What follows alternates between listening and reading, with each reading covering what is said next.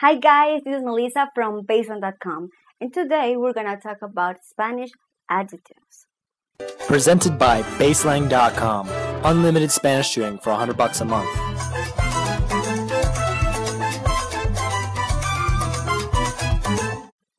Some of the main difference between the Spanish and English grammar is the use of adjectives. In English, the adjectives go before the noun, but in Spanish, it goes after. But you'll get this very easy. In some adjectives, it can go both before and after, but I'm going to explain this later. It's very easy to learn. Remember, an adjective is a word that describes people or, or things. For example, una casa pequeña, a small house. Pequeña goes after the noun. Usually it's like that in Spanish, but of course we have some exceptions, but I'm going to explain this later. There is something very important we need to consider. In Spanish, an adjective always must match with gender and with number. So, with number, plural or singular, and with gender, feminine, masculine. Usually, when an adjective ends in O, it is masculine, and when it ends in A, it's feminine. Let's see some examples. Niño bueno. It is masculine and it is singular. Niños buenos. It is plural and it is masculine. Niña buena. It is feminine and it's singular. Niñas buenas. Feminine and plural. Okay, guys, here are some very common basic Spanish adjectives, along with example use. Negro, black, los teléfonos negros. This is plural and masculine. Bonita, beautiful. Las mujeres bonitas. This is plural and feminine. Deliciosa, delicious. Unas manzanas deliciosas. Plural and feminine. Feliz, happy. Una familia feliz. This is singular and feminine. Triste, sad. Un abuelo triste. Singular and masculine. Pequeño, small. Un gato pequeño. This is singular and masculine. Bueno, good. Un hotel bueno. This is singular and masculine as well. Malo, bad. Un televisor malo. Singular and masculine. Nuevo, new. Una calle nueva. This is singular and feminine. Viejo, old. Un taxi viejo. This is singular and masculine. Aburrido, boring. Un día aburrido, singular and masculine. Difícil, hard. Unos días difíciles. This is plural and masculine. Fácil, easy. Un trabajo fácil. This is plural and feminine.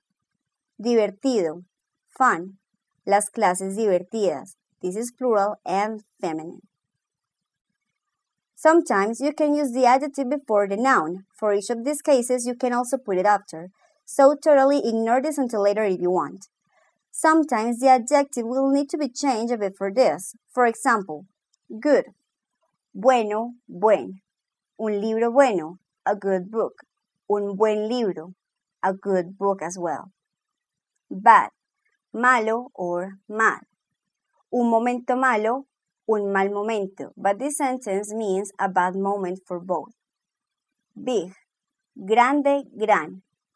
Una oportunidad grande, a big opportunity. Una gran oportunidad, a big opportunity as well. Guys, I just memorized those three. Most of the time, the adjective stays the same. For example, cold, frío. Una mañana fría, una fría mañana. It means a cold morning.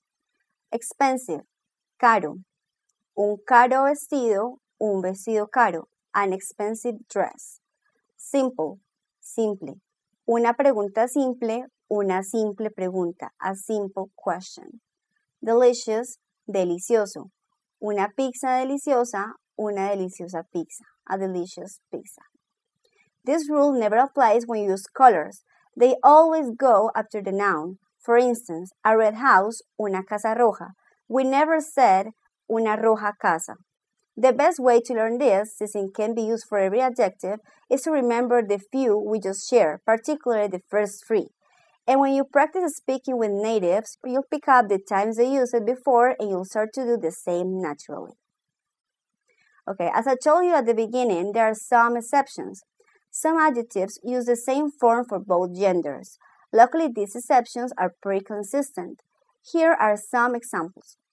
The adjectives ending in in inteligente, intelligent, verde, green, caliente, hot, grande, big, amable, kind, or friendly. The adjectives ending in consonant. Genial, great. Azul, blue. Gris, gray. Cortés, polite or courteous. Marrón, dark brown the adjectives ending in esta or ista. Perfeccionista, perfectionist. Materialista, materialistic. Alarmista, alarmist. Extremista, extremist. And now the comparative adjectives ending in or, or. Superior, superior or above when speaking about possession. Menor, less. Inferior, inferior. Peor, worse, mejor, better. Okay guys, this is it for today. This is very easy, but since in Spanish it's slightly different than in English when we're talking about adjectives, probably you'll need to practice more. If you want to practice with a real person, for example, with a BaseLang teacher, you just have to share this video publicly on Facebook. Post the BaseLang Facebook page on your post, and we're going to give you a 30 minute free class to practice whatever you want. Have a nice day. Ciao!